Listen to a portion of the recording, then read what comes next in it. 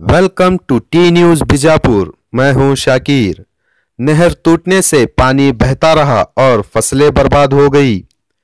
बीजापुर ज़िले के मुद्दे बहाल तहसील लुटगेरे गाँव में कृष्णा बाल विभाग के केनल टूटने से बड़ी मात्रा में पानी बहता रहा।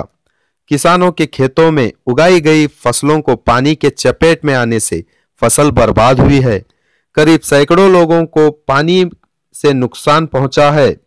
स्थानीय प्रशासन ने इस खराब गुणवंत के कैनल काम के ओर नज़र नहीं देने पर किसान अपने फ़सलें बहने में मजबूर हुए हैं।